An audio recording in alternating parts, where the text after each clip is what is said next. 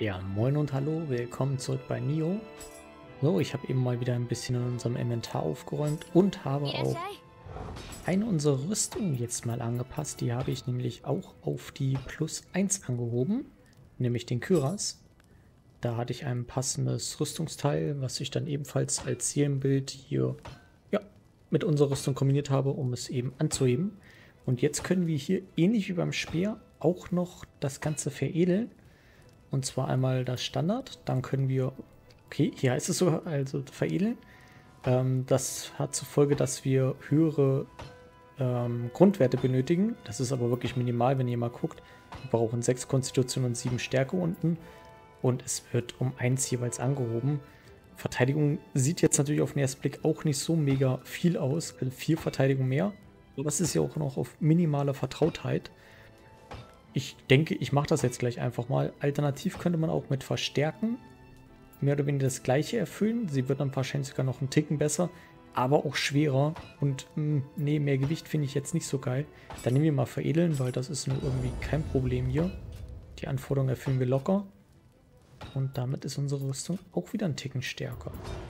Und mehr können wir momentan, glaube ich, nicht, weil mehr Sachen mit plus 1 habe ich nicht gehabt. Nee, den Rest hatte ich hier alles vertickt bzw. angepasst. Okay. Gut, dann haben wir das. Wir können noch eine Stufe aufsteigen. Das packen wir auch wieder in die Magie. Ich glaube, das könnte echt ganz witzig werden, wenn wir hier immer stärker werden. Wir haben ja jetzt schon gemerkt, wir haben jetzt schon mal den Faultier-Talisman dabei. Können wir uns jetzt sogar schon zweiten einstecken. Das ist schon echt praktisch. Und ich glaube, wenn ich davon zwei habe, werde ich als nächstes dann tatsächlich mal, ich weiß noch nicht, wir haben ja noch den Schutztalisman, der eigentlich ganz praktisch ist. Und es gab doch auch einen, welcher war das gleich? Barrieren nicht, Regeneration. Es gibt auch noch einen, der uns... Verdammt nochmal, wie ist denn das? Das unser Key verbessert. Doch, das ist Barriere äh, beschleunigt Key-Regeneration. Das könnte auch noch ganz witzig sein, wenn wir uns die dann auch noch mit einpacken. Also, ich denke mal, mit der Magie können wir momentan noch am besten was anfangen.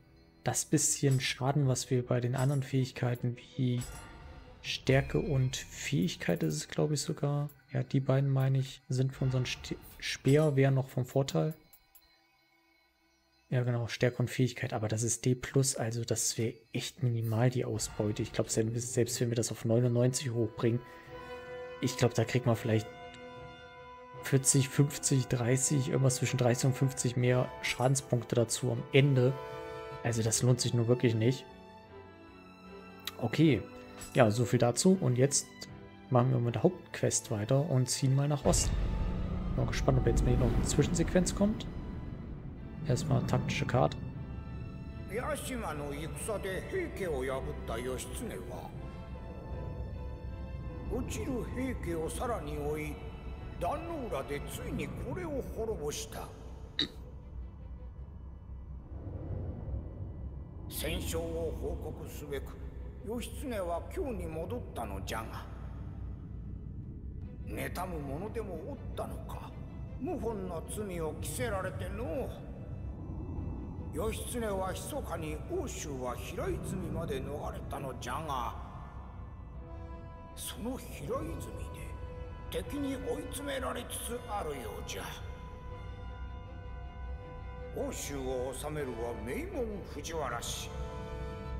義経とは盟友のはずじゃが下級の事態じゃ。急ぎ我らも平泉に向かおうぞ Fujiwara, etwa Takumi Fujiwara. Scheiße, müssen wir jetzt hier einen Downhill-Drift ablegen oder was? Ja, jetzt wird wahrscheinlich kein Mensch wissen, wovon ich rede. Macht mir aber überhaupt nichts. Gut, okay, wir haben nur eine Hauptquest, ewige Rivalen. Locker in das Samurai bekommen wir eine Flöte, eine Danke dafür. Und wir bekommen ein Seelenkern als Belohnung ist ja auch interessant. Neun Kudamas warten auf ihre Rettung. Na, da bin ich immer gespannt. Vielleicht hat es ha Hakutaku, ist ja wirklich so, Hakutaku, die ja schon berichtet, aber wir sehen uns mit einer brenzligen Situation konfrontiert. Auf der Flucht vor den Truppen der Fujiwara scheint Yoshitsunu verschwunden zu sein. Und zudem scheinen die Fujiwara den Chuzon-Tempel, den er aufsuchen wollte, komplett umstellt zu haben. Hm. So wie es aussieht, können wir nur durch den Vordereingang rein. Aber Gerüchten gibt es noch einen Weg, noch einen Weg in den Tempel. Aber jetzt müssen wir los. Die Zeit drängt. Hakutaku war, glaube ich, unser Ziegenmann, ne? Unser Ziegenschutzgeist-Onkel da. Das in Oshu und damit weit weg von der Hauptstadt gelegene Hira, Hira, Hiraizumi hat in der Spätphase der Heian-Zeit unter der Herrschaft des Fujiwara-Clans eine eigenständige und einzigartige Kultur entwickelt.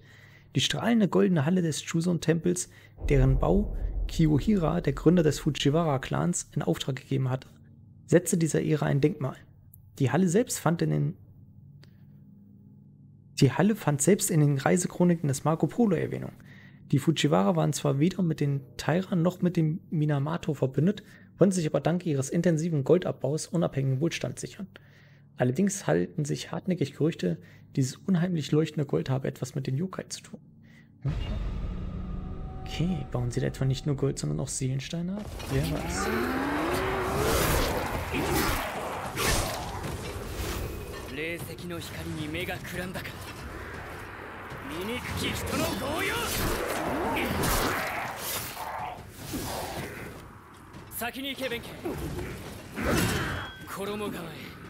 私もすぐ後を追う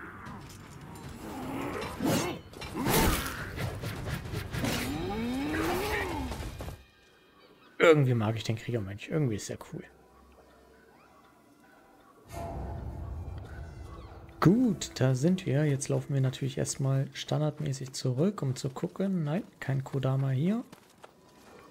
Nur welche hier. So. Den richtigen Kodama-Segen hatte ich schon aktiviert, gell? richtig? Richtig.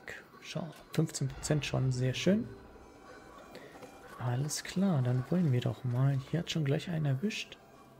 Und Krieger aufgespießt, ist ja interessant. Ist ja interessant. Wie viel göttliches Zeug hast du dabei? Jede Menge. Na. Dann nutzen wir dich doch mal zum Warmwerden. Erste Gegner für mich für heute. Zack. Und erledigt. Das war ja einfach. Sehr schön. Und wieder etwas Göttliches mehr. Gucken wir mal. Da haben wir ein paar. Hier sind echt eine ganze Menge Leute.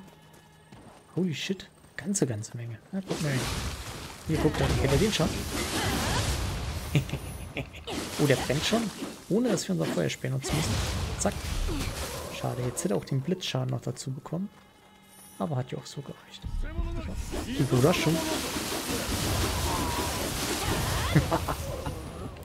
wir rennen ja einfach durch die Gegner durch. Geil.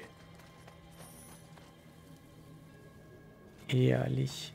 Nee, nee, du hast nicht... Nee, nee, nee. Ich beschränke mich jetzt mal nur auf die, die wirklich nur Göttliches dabei haben. Sonst wird selbst mir das ein bisschen viel. Hallo.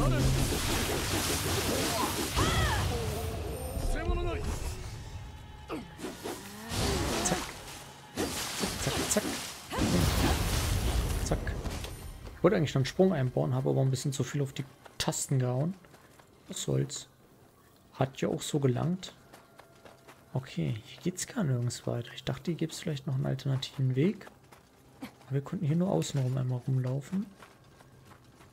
Nee, nichts zu sehen. Keine Kodamas in Sicht. Dann geht es hier mal weiter. Moment. Aber erstmal gucken wir hier hinten. Das könnte doch doch ein guter Ort sein, um einen Kodama zu verstecken, oder? Ne, ist nur eine andere Aufgabe. Auf jeden Fall echt schön hier. Gucken, können wir das öffnen? Nein. Das riecht nach einem Shortcut. Echt schick. Gefällt mir. Hübsch, hübsch. Bin mal gespannt, aber jetzt werden wir wahrscheinlich wieder irgendwelche Höhlen vertrieben. Oh, oh, hast eine Zauberwaffe. Jetzt habe ich aber Angst. Hier, kennst du ihn schon? Alter. Der hat mich unterbrochen. Der hat mich schon wieder unterbrochen. Oh. Jetzt hat er sogar richtig Schaden gemacht. Bringt dir gar nichts. So, erledigt. Penner. Was ist denn hier los? Was war das denn? Was ist das? Warum bewegen wir uns hier im Schneckentempo? Oh, ist da wieder so Spinnenscheiß oder was? Hm. Hm, hm, hm. Machen wir jetzt mal auf.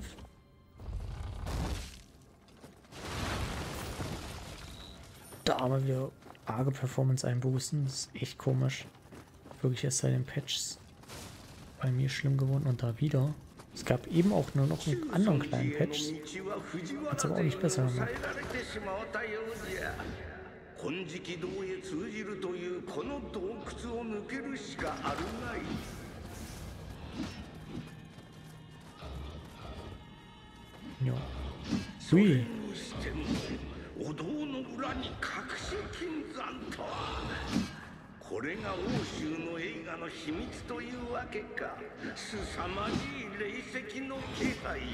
の Ja, hier sind schon eine ganze Menge draufgegangen. So. Und. Tschüss.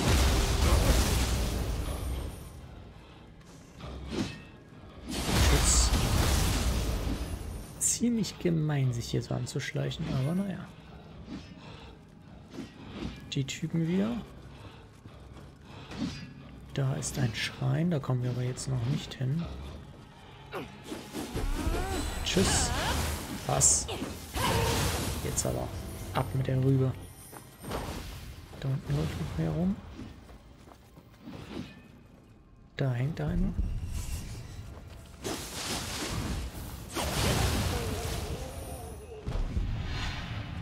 Wieder so ein Zauberonkel hier. Und Alter, was ist denn das hier? Das Level ist aber irgendwie anscheinend performance-technisch etwas merkwürdig aufgebaut. Holy shit, ey. Aber nur an manchen Stellen hier laufen wir wieder relativ normal irgendwie. Den schieße ich mal gleich runter. Mich keinen Bock, den übersehe ich doch nachher sonst.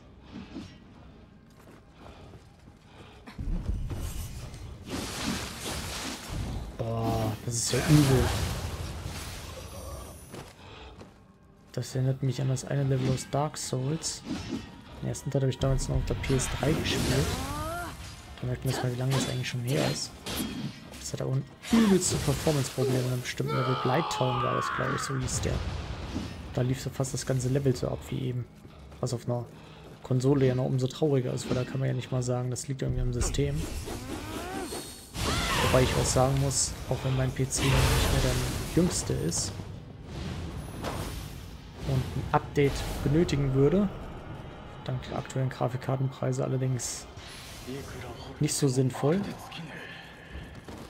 Trotzdem soll der eigentlich immer noch performant, performant genug für dieses Spiel sein. Oh, da haben sie wirklich irgendwie ein bisschen Mist gebaut. Hey, wie komme ich denn an dich um Himmels Willen ran? Hä? Da müssen wir irgendwie... Aber da oben waren wir doch eben noch nicht, oder? Moment, wo kamen wir jetzt her? Jetzt muss ich ja mal kurz gucken. Ne, wir müssen uns dann oben von dem Schrein da auf mal runterfallen lassen. Würde ich mal vermuten, müssen wir irgendwie hier so runter, runter, runter. Oh Mann, hoffentlich behalte ich das im Hinterkopf. Ich meine, ich sehe ihn zwar auf der Karte, aber den Weg dahin dann zu finden, alles.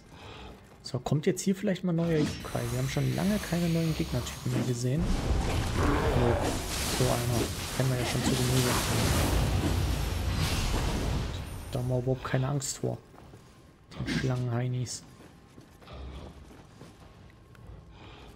Hm. Hm, hm, hm. Lächerlich. Da ist ein Riegel vor, das können wir durch die Tür schon sehen.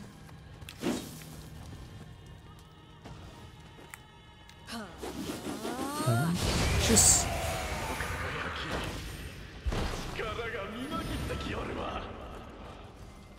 Ja. Tolle Kraft, Junge. Auch wieder eine verschlossene Tür. Es sind eine ganze Menge Leute draufgegangen. Oh, da links von uns war irgendwas. Ah, ich habe es eben noch angesagt, dass wir wieder Neues haben wollen. Jetzt haben wir wieder Neues. Ach, schade. Okay, Feuer juckt die überhaupt nicht. Wir merken schon. Guckt den wirklich gar nicht. Weil es ist sofort wieder abgekühlt. Ihn. Und jetzt. Ih, der hat jetzt schon ekelhafte Zähne unten runter. Ekelhafter riesiger Blockgegner. Nupi Peppo. Cool. Interessanter Gegner. Auf jeden Fall mal was Neues. Wirklich auch was komplett Neues. Nicht irgendwas Recyceltes, sondern...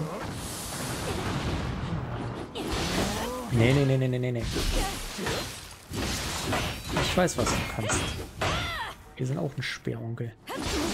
Speertante. Können wir auch. Und wir treffen wir damit. Guck, so geht das. Gib mir deinen Lack. Was benutzt du für eine Rüstung? Hayabusa. Das ist doch, glaube ich, nicht mal... Ist das überhaupt? Drachen-Ninja. Gesundheit, Nahkampfschaden und Verwundbarkeit durch Ausweichen verlängert. Unbegrenzte Schurken, wahres Drachenschwert. Was ist das denn? Beschleunigt die Ki-Regeneration und erhöht deinen Angriffswert, wenn du das Drachenschwert oder Falkenklauen einsetzt. Interessant. Ja, und das Ding benutzt er. Das hat ein Schwert und Klauen. Er hat aber ein Speer benutzt. Interessant, interessant. Kann natürlich sein, dass er nur eine der beiden Waffen benutzt, aber dann kriegt er den Z-Bonus nicht voll. Hm. Merkwürdig.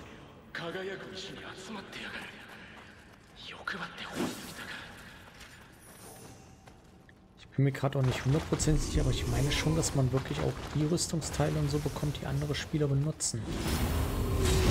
Oh, scheiße. Ja, wenn's du... Das ist toll. Oh, holy shit, das ging auch wirklich sein, ne? Ganz fast erledigt. Respekt. Für so einen Beppo-Gegner hätte uns fast noch klein gekriegt. Ist nur wieder ganz gut, dass unser Bild eben so viel Leben auch beinhaltet. Ich glaube, so manch anderer Spieler wäre da locker drauf gegangen. Dann noch vielleicht eine leichte Rüstung und ein bisschen schwächere Rüstung noch dazu. Vom Level her. Dann wäre das wahrscheinlich schon eklig geworden für den. Oh, hier höre ich noch einen Kodama. Oh ja, wo ich da gerade durchrolle, merke ich wenigstens in diese Performance-Einbrüche gerade wieder weg. Ist doch komisch, dass sie hier eben nur an bestimmten Stellen waren und auch wirklich nur sehr, sehr klein oben am Eingang und an diesem einen Steg, wo es mal so ein bisschen geruckelt hat. So, Moment mal. Wo ist denn der jetzt? Boah, das ist ja... Alter, das ist ja fies. Ich hätte das jetzt nicht mal gecheckt, dass man die sogar kaputt machen kann. Die kleinen ja. Aber diese großen auch. Kann man die hier auch kaputt hauen noch? Ja. Gut, das lohnt sich jetzt aber Amrita-technisch nicht. Also das ist ja nur so wenig. So, es hätte sich vielleicht ganz zu Beginn des Spiels mal ein bisschen gelohnt. Aber ich werde jetzt hier nicht rumlaufen und alle kaputt hauen. Wie bist du eigentlich wieder da hochgekommen, du Lemme, hä? Komm mal schon runter hier. Ich glaube, es geht los. Das kann wieder volles Leben. Jawohl. Den haben wir es gegeben. Ah, hier hat schon welche erwischt. Die waren unvorsichtig. Ja gut, zwei Leuten, ne? Wir wissen, sie können Schaden machen, wenn sie wollen. Das kann schon eklig werden. Plattenkopfwand der Hayabusa. Hm. Echt die Frage. Das hier wirklich mit den Rüstungen der Spieler zusammenhängt. Ich dachte eigentlich immer schon. Aber denken ist nicht wissen. Von daher, ich kann es euch nicht genau sagen, nicht zu sein. So, jetzt sind wir hier. Da machen wir erstmal die Tür auf.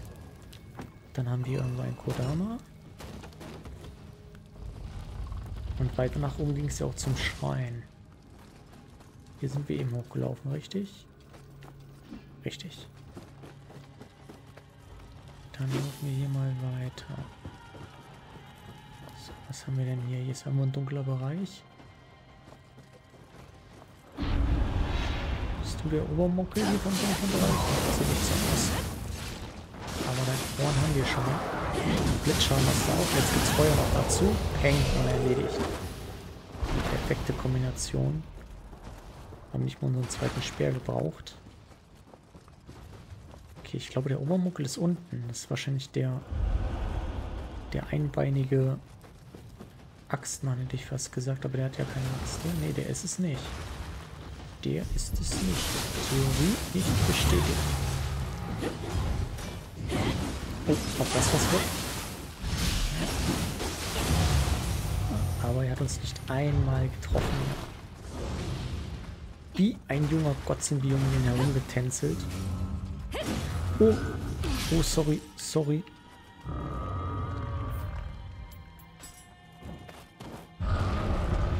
Oh, das fand er nicht so lustig. Muss man nur vorsichtig sein. Wir wissen ja, die können auch echt Schaden austeilen. Oh, das war's schon. Oh. Guckt, jetzt habe ich extra mal auf den Speer gewechselt, weil ich dachte, er hält ein bisschen mehr aus. Falsch gedacht. Alter, was haben wir denn hier? Was haben wir denn hier? Das ist eine komplette Höhle voll mit dem Plunder hier. Peng, peng, peng, peng, peng. Ketzerisches Leuchten. Der Schwede. Guckt euch das an hier. Das muss gerade alles kaputt gemacht werden. Das macht einfach nur Spaß, hier durchzulaufen. Dumm, dumm, dumm, dumm, dumm, dumm, dumm. Und dann war das irgendwann Glück Sonst wäre so einer. Au. Da sind wir ein bisschen vorsichtig und buffen uns mal schön hoch. Ja, der macht auch ganz guten Schaden. Oh, der macht sogar richtig guten Schaden. Hey, Junge. So, da wechseln wir jetzt mal auf den Flammenspeer, weil Blitze sind mir ziemlich egal, den Typen. Ne?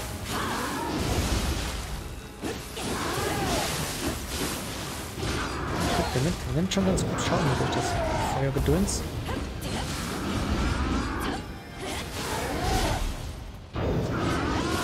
Oh, Alter. Hey, hallo. Junge, was der ausgehalten hat. Jetzt ist er verbrannt. Was ist jetzt davon? Penner. Der war mal gar nicht mal so ohne. So, was haben wir hier? Schlüssel zur Kammer der heißen Quelle. Interessant.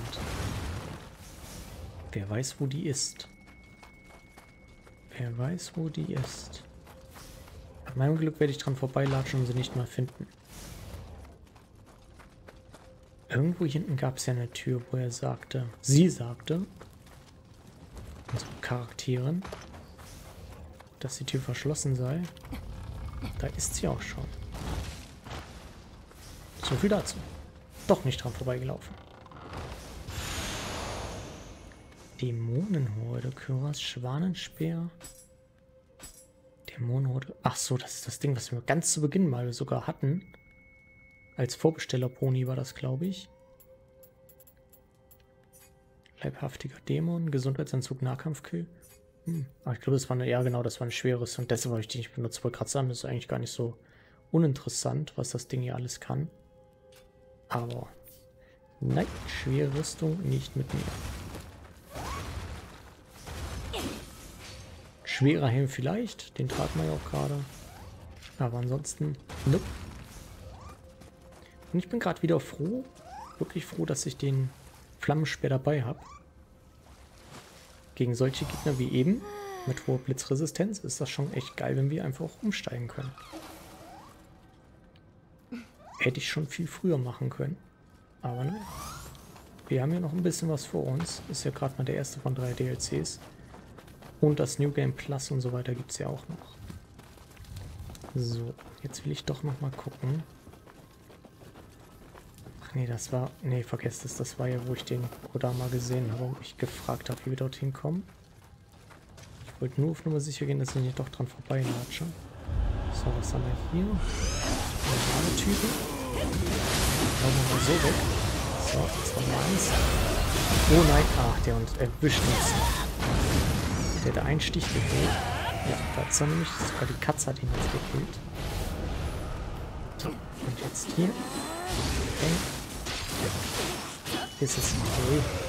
Danke, Katze. Killer Cat dabei. Hier ist gerade so dunkel, dass ich überhaupt nichts sehe. So. Ein Magatama gefunden. Und göttlich. Das ist ein Accessoire. Das bestimmt wieder nicht meinen hohen Anforderungen entspricht. beziehungsweise was heißt von Anforderungen, nicht besser ist als das, was wir bereits benutzen. Okay, äh, ah ja, hier kamen wir ja. Ist gerade irgendwie ein bisschen tricky hier durchzusteigen. So, hier können wir was plündern. Geisterstein. Ah, guckt an, hier haben wir die Ecke, wo wir hoch können, um uns den Kodama zu angeln. Und ein Sudama wartet auch schon auf uns. So, was schmeiße ich ihm denn mal hin? Was haben wir denn Feines? Ah, nee, das Ding ist plus eins. Das sperren wir gleich mal. Das schmeiße ich ihm nicht hin. Plattenkopfband der Hayabusa. Ist eigentlich auch ganz, ganz interessant hier, die Werte auf jeden Fall. Unbegrenztes Shuriken könnte natürlich, also wenn man wirklich einen auf Ninjitsu spielt, ist das echt geil. Also das kann ich mir wirklich vorstellen, weil das ist nicht mal ein prozentualer Wert dahinter, sondern du kannst die Dinge einfach raushauen. Gilt aber wahrscheinlich auch nur für die normalen Shuriken. Aber wenn, wie gesagt, also wenn man die wirklich hat, kann das eigentlich schon ganz lustig sein. Die machen jetzt zwar kaum Schaden, aber die Tatsache, dass man die dann unbegrenzt rausballern kann. Und man, es gibt ja auch eine Fähigkeit, mit der man die schneller werfen kann. Könnte ich mir schon ganz witzig vorstellen. Ist jetzt vielleicht nicht mega hilfreich und auch nicht overpowered oder sowas, aber witzig auf jeden Fall. Gar keine Frage. So, wo müssen wir jetzt lang? Er ist jetzt hier unter uns. So, richtig? Ja. Gut, dann haben wir dich auch. Das ist Nummer 2. Zack und zack. Bei meinem Glück lag da jetzt was, aber egal. Es war kein Kodama, dann ist der Rest nebensächlich. Apropos, hier muss ich auch nochmal das, ich nenne es jetzt mal Erdgeschoss abgehen. Ja, hier ist er nämlich. Ach, das Kodama-Gespür. Ist einfach immer wieder praktisch. Okay, weiter geht's. Rein, raus. Der dunkle Bereich. Nochmal. Und das ist aber wirklich ständig ein Hin und Her. Oh, was haben wir hier?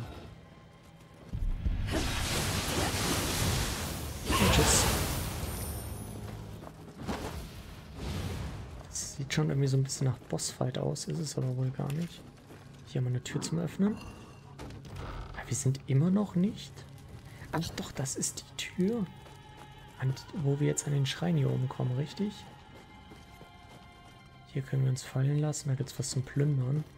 Da müsst ihr wieder den kompletten Weg zurücklatschen. Hm. Hier können wir auch noch... Was heißt auch noch nach oben? Hier kommen wir auch gerade her. Ah, okay. Bin hier etwas blind vorbeigelaufen, aber ich hatte eben nur Augen für den Kodama. Wie so üblich. Ja, komm, wisst ihr was, den hier nehmen wir noch mit. Wer weiß, was der Geiles hat. Hm. Nichts wirklich Geiles.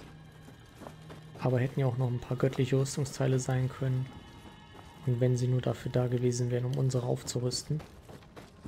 Und wir sind ja auch jetzt ruckzuck hier wieder hergekommen. Bete ich jetzt? Ja doch, ich muss an dem Schrein beten, dass wir den als Einstiegspunkt wieder haben. Also bete ich jetzt auch noch. Okay, was brauchen wir für den nächsten Levelaufstieg? 1,9 Millionen. Schauen wir mal, ob wir das in der nächsten Folge erreichen, denn dann geht's weiter. Bis dahin, Leute.